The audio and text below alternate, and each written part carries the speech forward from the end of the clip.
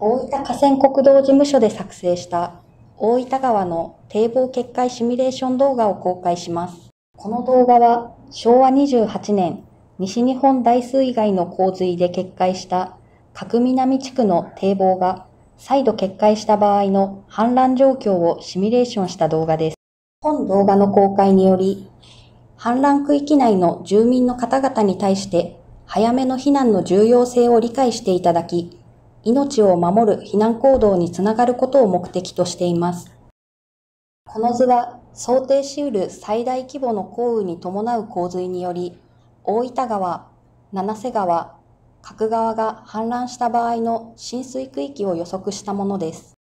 色の違いは、右上の判例にある浸水した場合に想定される水深を示しています。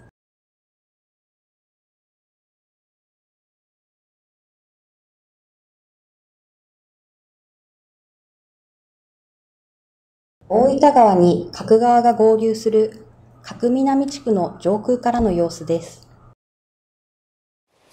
大雨により大分川の水位が上昇してきました。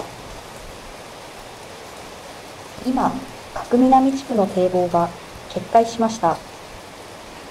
堤防決壊から20分後、大分県自動車学校付近まで氾濫した水が到達しました。50分で城南中学校、東九州自動車道付近まで到達しました。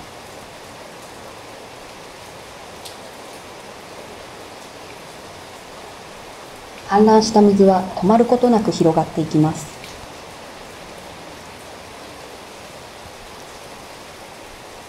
3時間程度で南大分スポーツパークまで到達しました。国道10号も浸水しています。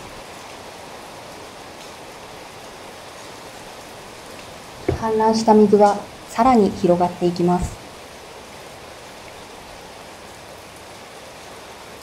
氾濫した水は10時間程度で大分駅付近まで到達しています。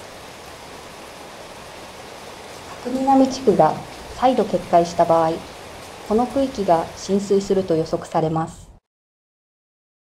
想定し得る最大規模の降雨に伴う洪水により、大分川、七瀬川、角川が氾濫した場合の浸水区域と水深を色で表しています。紫色の場所は10メートル以上、赤色の場所は3メートルから10メートルの水深となり、非常に危険です。黄色の0.5メートル未満の水深でも、流れが速ければ流される危険性があります。近年多発する豪雨災害において、市町村長が発令する避難情報が必ずしも住民の避難行動につながっていない事例も発生しています。避難情報は災害が発生する恐れが高まった場合などに発令されます。適切な避難行動をとるために、日頃から自宅や職場等が立ち退き避難が必要な場所なのか、上層階への移動等で命の危険を脅かされる可能性がないのか、などについてハザードマップなどで確認、認識し、災害時に適切な避難行動が取れるよう備えましょう。